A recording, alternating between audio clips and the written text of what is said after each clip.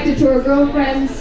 Politics, real life is essential if we're going to figure this out. How we are doing impacts, reflects, perpetuates, or disrupts the status quo. This is so. Uh, yeah, this is Queenie, and it's a song written by one of our own, Karen, and her band.